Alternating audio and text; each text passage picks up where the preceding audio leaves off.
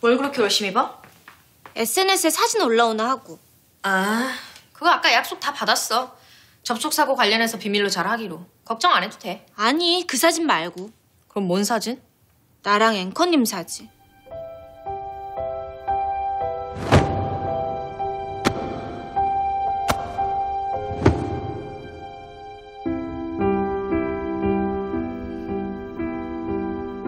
아, 사진 있으면 좋은데 보고 싶을 때마다 보게.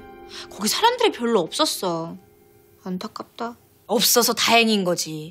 더 몰려들었어 봐. 수습 불가능이야. 어, 생각만 해도 끔찍하다. 아까 앵커님이 뭐라고 했는지 알아? 뭘 뭐라고 해? 남자친구라고 했어. 어?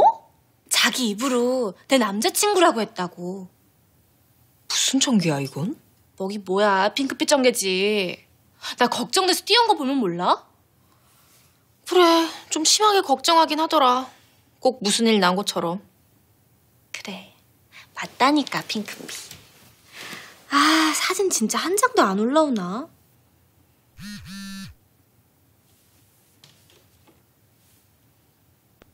이정훈입니다. 여하진 씨 관련된 일로 할 얘기가 있어요. 여하진 씨는 모르게 연락 바랍니다.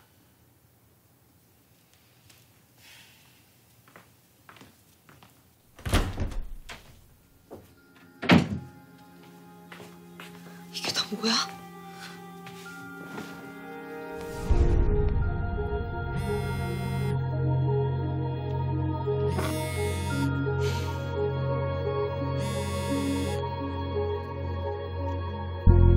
네, 이정훈입니다. 이게 다 우편으로 온 사진이라고요? 예. 받은 지는 꽤 됐는데 오늘 확인하게 됐어요. 다 체크해 본 건 아니지만 기사에 실리거나 인터넷에 돌아다니는 사진은 아닌 것 같아요. 그럼 이걸 직접 찍은 거란 말이에요? 언니를 몰래 따라다니면서? 아직 너무 심각하게 받아들일 필요는 없어요. 하경 씨 말대로 여하진 씨는 연예인이니까 일반 편의 과격한 표현일 수도 있어요. 그럴 가능성이 더 크고요. 그래도 혹시 몰라서 말씀드리는 겁니다. 조심해서 나쁠 건 없으니까.